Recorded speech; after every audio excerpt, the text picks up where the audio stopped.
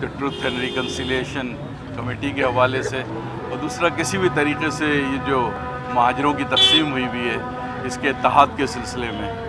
اور اس ضمن میں جو ہے وہ بڑا سرگرم کردار ادا کر رہے تھے۔ اور جس طریقے سے ان کو شہید کیا گیا ہے، اس سے ان کوششوں کو بھی یقیناً فوری طور سے تو نقصان پہنچے گا۔ لیکن انشاءاللہ تعالی مہاجروں کے اندر یہ خواہش موجود ہے کہ ان کے اتحاد کو جس طریقے سے پارا پارا کیا گیا ہے جس طریقے سے ان کے جو کراچی کی مینڈیٹ ہے، کراچی کی جو تقسیم ہے، کراچی کے جو عوام کی اکثریت ہے، اس کی امیدوں کو جو ہے وہ تقسیم کیا جا رہا ہے۔ یہ علی رضا کا مشن تھا، ان کو متحد کریں، اتحاد کریں۔ بہرحال یہ حکومت کا کام ہے کہ وہ ایک طرف جہاں آپریشن کی بات کر رہے ہیں اور شہر میں امن و امان کی بات کر رہے ہیں یہ شہر میں بہت بڑا قتل ہے۔